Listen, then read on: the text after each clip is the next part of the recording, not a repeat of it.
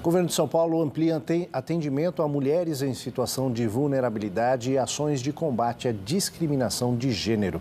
A repórter Maria Manso tem as informações. Boa tarde, Maria.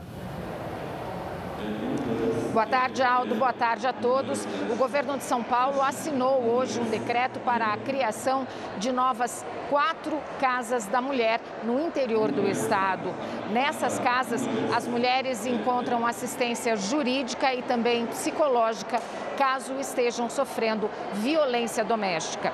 Além disso, o governador João Dória, agora há pouco, num evento aqui no Palácio dos Bandeirantes, também assinou um decreto que vai punir qualquer tipo de discriminação contra mulheres nos serviços públicos, ou seja, nos estabelecimentos que recebem a população, também nos postos de saúde. Uma comissão vai investigar as denúncias que poderão ser enviadas para o Ministério Público.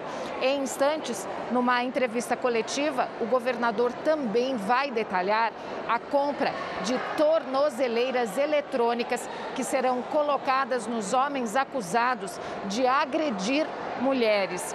Uma situação muito grave. Os dados mostram que uma mulher é agredida a cada 15 segundos no Brasil e que a violência doméstica já é a principal causa de morte e de lesões graves entre as mulheres de 16 a 44 anos.